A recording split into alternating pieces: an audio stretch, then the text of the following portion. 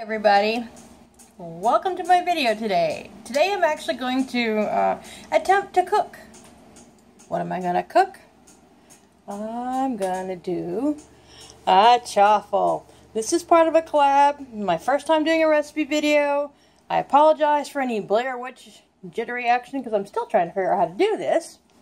But anyway everyone loves the sweet chaffles. I personally love the savory chaffles. So I found this recipe online and it uses kimchi and I was so happy. So all you'll need is, this recipe uses two eggs so you can make four chaffles. So two eggs, one ounce of kimchi, one tablespoon of the juice that comes in the kimchi. There's always lots of juice in there. And a little bit of cheese to put on the bottom and top of the chaffle while it's cooking. That's it. Pretty simple, huh? So, let me put you down and I'll get to it, hopefully without looking too weird. No, no, no. Ah. Uh, uh, hey, there we go. Okay, so we are going to move that out of the way, I guess. Crack the two eggs, obviously, because, you know, well, you could be like me and always leave the shell in. I always manage to get shell, no matter what I do. Two eggs. Beaten up nicely. If you want to get fancy, you can use some garlic powder, which I always do. I even, secret ingredient, bacon. Can you see the bacon salt? Bacon salt, bacon salt, bacon salt. We love bacon salt. We put it in everything. Mix, mix, mix, mix, mix. And then we add the kimchi. This is so easy how I never thought of this before seeing it in a video. I will never know. Never know. Literally, this is it. Eggs, seasoning, kimchi, cheese. That's all. I'm going to pick you back up. Again, I apologize for any Blair Witch action. And if you don't know what Blair Witch is, you're too young to be watching this video. Okay. Cheese. This gives it a little crispy, crispy, crispy.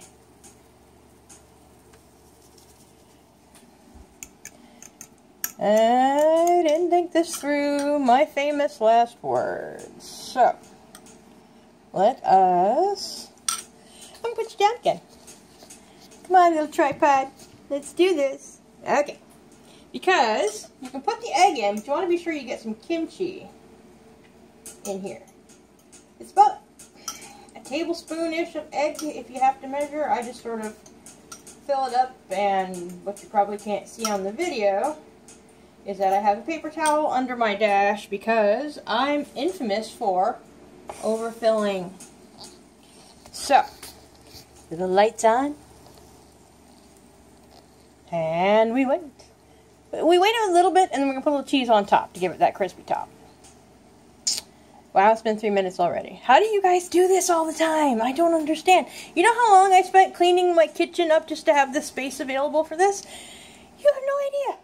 And all these guys are wondering what the heck I'm doing because I'm talking to myself isn't she adorable? She's not wiggling because, well, there's no sun in here, but still.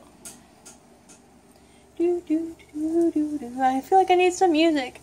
Da, da, da, da, da. How many of you burnt yourself or almost burned yourself on the steam coming off your little mini waffle maker? Say hi. Definitely me. Okay, I'm going to put you down because I think it's about time. Put some cheese on top of that. Yep, time for cheese. Now, of course, don't come for me. I'm using pre-shredded because I am a lazy witch. However, I have been known to shred cheese. Just not since everyone got on this chaffle craze because I'll never be done shredding cheese. Okay. Now we go back to it. Do we love these signs or what? Come in for a spell. Behind it is the air fryer because we all live for an air fryer. Also, one of my favorite coffee mugs. Another one of my favorite coffee mugs. Do not jump on the counter, monkey. No. Thank you. They want the cheese. They want to know what mommy's talking to.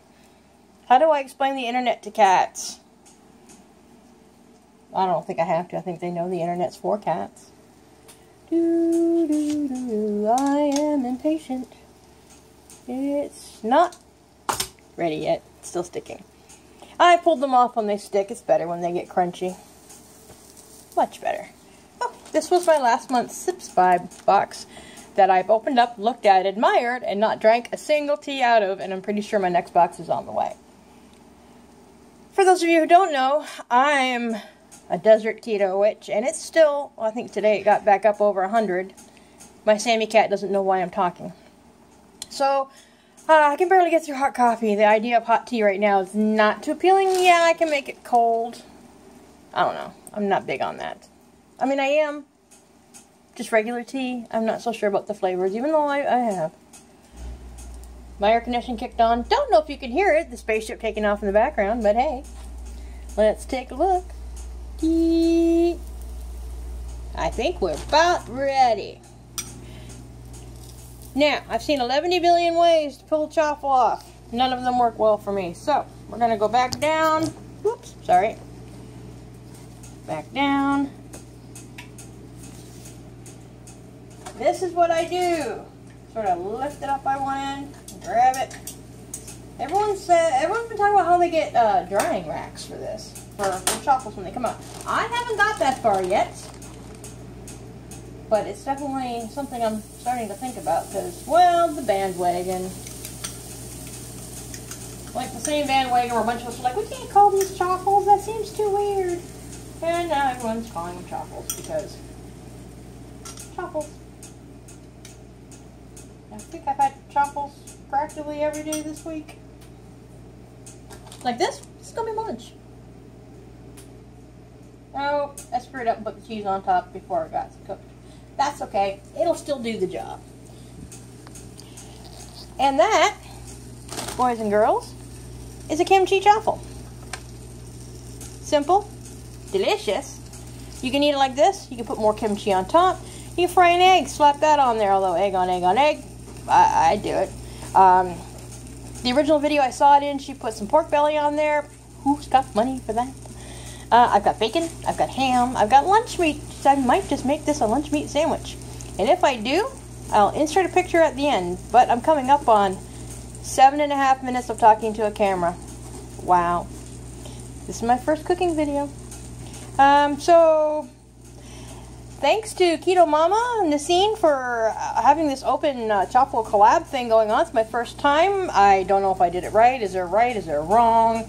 I don't know.